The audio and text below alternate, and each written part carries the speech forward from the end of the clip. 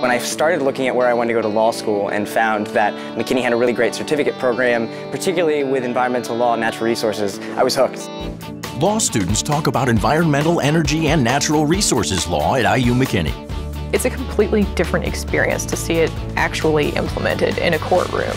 McKinney's EENR Law Certificate helps you stand out. I will be graduating through the Environmental and Natural Resources Certificate Program. I'm not only leaving with a JD, but I'm leaving with a specialization that I think will help definitely um, kind of set me apart in the future. Explore your future in environmental, energy, and natural resources law at Indiana University Robert H. McKinney School of Law.